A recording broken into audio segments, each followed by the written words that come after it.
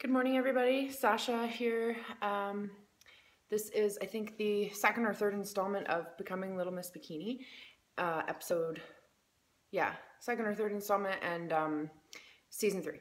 So, uh, I always have hair issues in these things.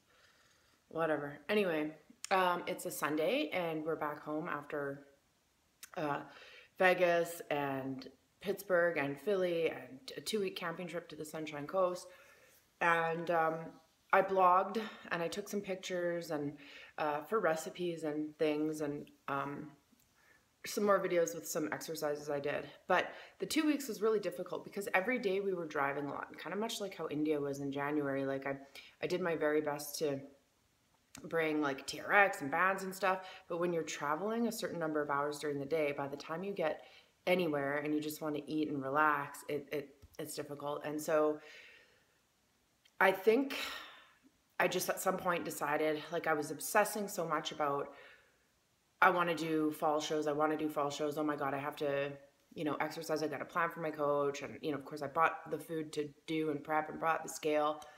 And things just became like really intense. And I really stopped liking the feeling of um, being so occupied by fitness because I felt like, you know, it I've always loved being fit, but competition has really taken um, my mind to a whole other level, and um, I don't. I couldn't stand that. So we brought stand-up paddle boards, and um, I intended on going hiking and doing some HIIT stuff and band work, and just you know keeping in check with my diet and everything while I was down there. Not really having too much to drink because we generally don't drink.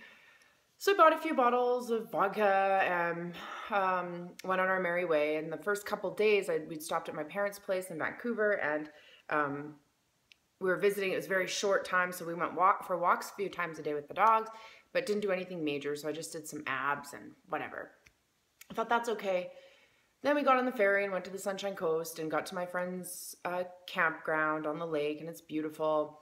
And um, the first couple days I did banded workouts and abs and stuff. And I wanted to do this hill every day, which is about, you know, like a five minute jog to the base of the hill and about 30 minutes up. It's steep, beautiful view, and then back down. I wanted to do that every morning. That was my intention. So day two, I come back from paddleboarding, put the paddleboard down, which I was also paddleboarding the lake every morning and afternoon. And I walked into a dip and I sprained my left big toe and I didn't really notice right away, but then all of a sudden I couldn't walk, like I couldn't finish that the my step. It was just bending my toe backwards was excruciating. So then there goes plyometrics, there goes sprints, there goes running, there goes hiking, at least for a couple of days. And I was walking around barefoot and limping. I had my toes taped together. It was ridiculous. And in that time, I decided you know, I can either beat myself up about the fact that I'm not exercising and tell myself I'm going to get fat and tell myself, oh my God, you're going to have so much cardio to do. Uh, you're going to hate prep and blah, blah, blah. But long story short is I couldn't control the situation with my legs, essentially. Like there's not much I could do. So I decided I'm just going to say, fuck it. You know what? Um, I've got a week and a half left and I'm going to enjoy good company. I'm going to enjoy food. I'm going to enjoy family. I'm going to enjoy relaxing, which I never do. I'm going like 15 hours a day. And so I did. And it was all right.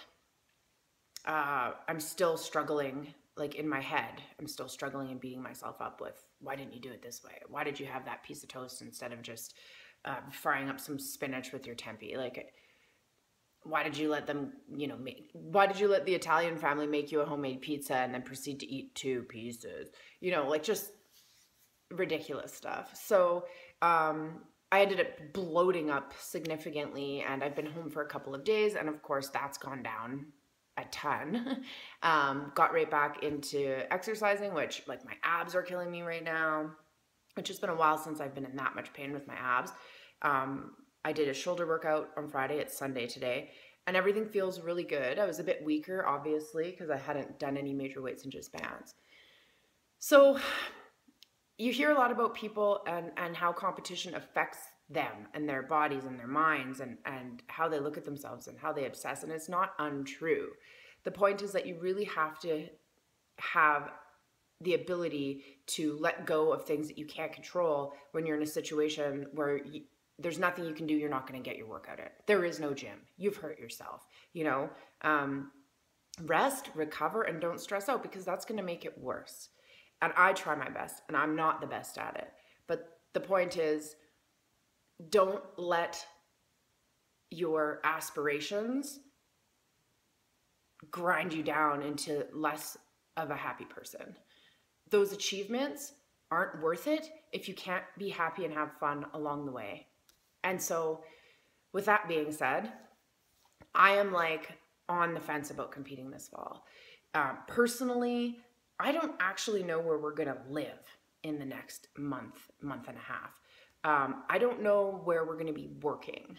I don't know anything. And trying to control my life right now is just like lighting my head on fire and then running around, you know, adding fuel to it and crying, why isn't it going out? Um, that doesn't mean I'm going to stop working out every day. That doesn't mean I'm not going to have goals or try to stay like ex- uh, extremely fit or even try to to maintain prep and see what happens. But the point is, is su- it's such a tumultuous time in my life right now that this is going to be very interesting for me because I haven't said absolutely no to competing, but I only have three and a half months to train. And I don't think that's going to be enough time to get my body where I want it to be the next time I show up to defend my pro card. Um, I did look at a couple of winter competitions because I'm obsessive, and I did look at some spring ones. So it might be the spring, and I might have to like travel back to Alberta or Canada to do it. But um, we've got so much crap going on in our lives right now, which I'm not at liberty to discuss all of it, but I will uh, when the time comes. That it's just I can't control everything, and I and I'm succumbing to that. Just and not in a negative way. It's just I'm going to succumb to that. Um, so I'm going to give myself the opportunity to get excited because Jeff and I are going to get married in like 33 days. And we're going to do it at our beautiful house here in the woods. And it's going to be lovely. And it's going to be very bohemian and very low key. And there's going to be about 20 of us. And it's going to be amazing. So I'm going to let myself get excited about that instead of beat myself up about, you know, sort of spending my time beating myself up about what I did or did not do on vacation. Or, you know, beating myself up about where where are we going to be in in four weeks? I don't know. But what i do know is i'm going to marry the love of my life in in our backyard of our beautiful acreage in the woods and uh, spend some time with family and friends and get the chance at a fresh start i'm excited for a fresh start there's so much stagnant crap going on that i'm really excited for a fresh start and so I guess the, the theme of this is don't be too hard on yourself. If prep isn't working out, stay as as close to it as you can, but maybe change your goals. Maybe it's not the right time right now. Um, it's it's not worth it's not worth the pain and suffering emotionally if it's it, it, to to get to a goal if it's not the right time. If it's the right time, it's going to happen, and I'll keep you posted on that. Also, um, just check out a couple of really quick, easy camping recipes that I made that were, you know, diet friendly and uh, the couple of little videos I'm going to splice together using B-Force bands, which I got, which um, I'll write a little bit more about so you guys can see what they are. But they're a great invention and um, they do help when you're on the road. Um, anyway, I'm going to go for a little hike this morning with Jeffrey and he's going to do some catch and release. I might too. And um, I'm going to bring a book and I'm going to bring my B-Force bands. Do a little bit of a, a little bit of a workout today because it's beautiful outside and I'm, I'm going to take my shirt off and I'm to get a tan and I'm and I'm going to do some abs. And enjoying this black coffee on this lovely July weekend. I hope you all are doing fabulously. Um, you're amazing the way you are. And if you if you're wanting to make improvements, that's already a beautiful thing. Um, don't kill yourself over stuff you can't control. Enjoy the journey, right? Is that what they say? I'm trying, I'm trying. I'm trying. Talk to y'all soon. Ciao.